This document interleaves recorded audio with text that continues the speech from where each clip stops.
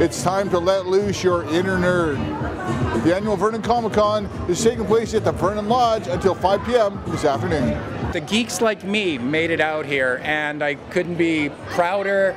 I'm excited. It's like once a year I get to put on a big house party, and everyone's coming out in droves. I can't believe there's a lineup right outside. Got uh, cosplayer showcase at 12 and at 3.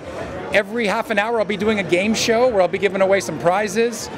We've got a guy that's selling lightsabers all the way from Chilliwack. We got fans that I heard from Prince George to Red Deer, Alberta.